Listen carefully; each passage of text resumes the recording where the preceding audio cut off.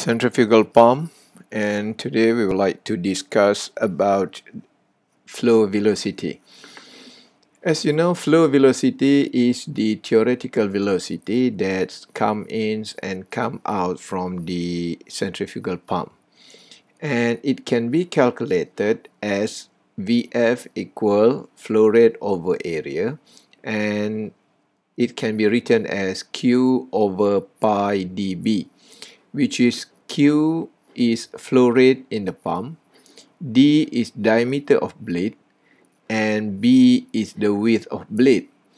And because we have diameter and blade width here, so please make sure that when you calculate the velocity of flow at inlet, VF1 here, you will use diameter 1 and width of 1 and the equation will become q over pi d1 b1 and if you calculated flow velocity at outlet so the equation will becomes q over pi d2 b2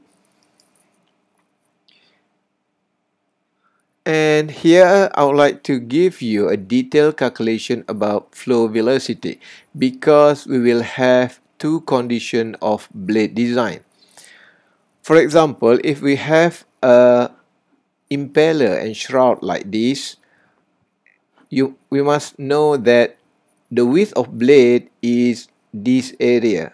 The distance of this is definite uh, is determ determined as width of blade. So why we calculated Vf2 is equal to Q over pi d2b2 because we imagine that the water will flow like a source. Mean from one source here, the water will flow radially like this. And then because the tip here, it will create a very thin area at the exit here. So means that the area that water flows out is actually 2 pi r, the perimeter of this impeller, times the height of this one. So it will become 2 pi r times width of blade or we could write pi d means the perimeter of the impeller here and b here is the width of this impeller.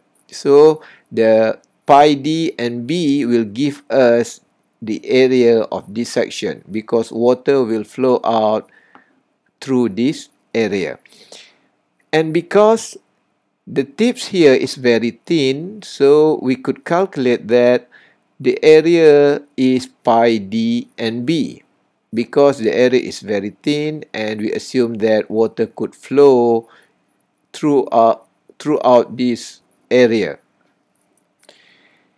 So please remember that the equation of Vf2 equal Q pi d2 b2 is actually valid for a blade that have a very very thin thickness at the outlet here. And then what happen if our blade have thickness here? So as you could see here, if the blade is thick like this, so means that if we calculate the diameter here, pi d, it will not reflect the area that water flows out because water did not flow at this area. So somehow we must deduct the area of pi r 2 pi r here with the area of the thickness of the blade. So the equation of Vf2 need to be modified and it becomes Vf2 equal Q over K pi D2 B2 where the K here is the area coefficient. The K here will show how many percent of the area that actually flows the water out. So if the thickness of the outlet blade is 15% from the total outlet area, the area coefficient is 0.85. Then the VF2 equation will becomes VF2 equal Q over K pi D2 B2 and K here. It is means that only 85 by water.